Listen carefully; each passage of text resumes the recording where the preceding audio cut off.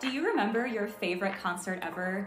What made it so special? There's something magical about the atmosphere, energy, and connections you make at a live show.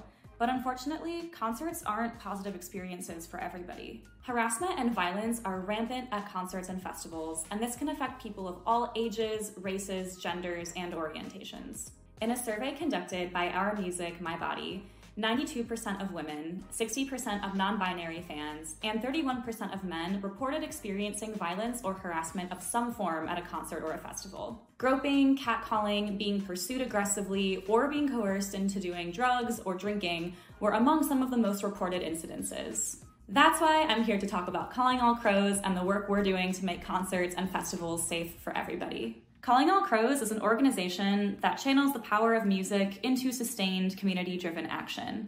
We've seen how music can affect people's lives. It brings us together and allows us to openly and freely express ourselves but only when our spaces are free from harassment and violence. In 2023 alone, we reached over 300,000 music fans, trained over 800 music industry professionals with our Here for the Music training, and partnered with 12 new artists. We started our Here for the Music program to address the prevalence of harassment and violence in live music spaces and to cultivate safer and more respectful spaces for everybody. From security staff to bartenders to fans to the musicians themselves, we want to make sure everyone feels safe and respected in the live music scene. We've created a music industry tailored active bystander training that empowers venue and festival staff, artists, touring crew, music industry professionals, and music fans like you to feel confident recognizing, intervening safely, and showing empathy for victims of assault and harassment when you see it happening at a show.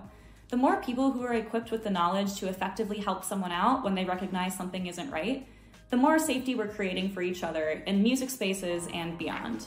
And this year we have huge plans. We're expanding Here for the Music internationally, and we're going to reach even more music fans, artists, venues, and festivals in our 16 years of service. Our goal is to make concerts and festivals a safe place where everyone can enjoy the music they love without fear of harassment or violence. But we can't do it alone. The Project for Awesome grant will help us create and sustain lasting change in the live music industry. Together, we can make concerts safe, more inclusive, and fun for everybody because we're all here for the music.